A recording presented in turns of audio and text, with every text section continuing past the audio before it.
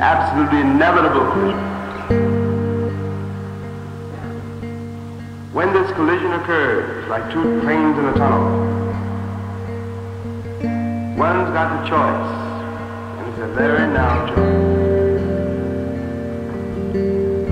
of holding on to your definition of yourself, or saying as the old folks used to say, and if everybody who wants to live has to say, yes, Lord, which means to say yes to life. Until you can do that, you have not become a man or a woman. Now, in this country,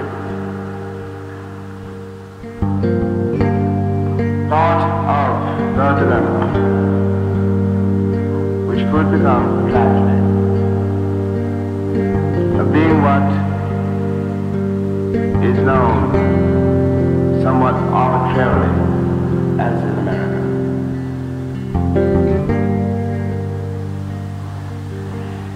The collective effort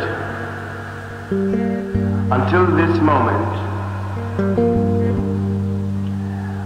and the collective delusion until this moment has been precisely my delusion when I was a little boy.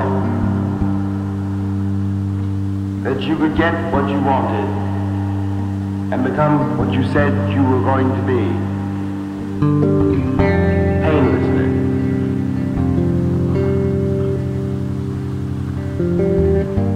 Furthermore,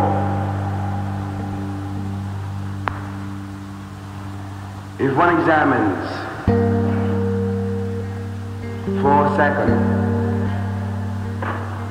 or if one tries to define the proper noun American, one will discover, first of all, that to be an American means a catalog of virtues. Something called I Am an American Day, which I gather is meant to reassure everybody.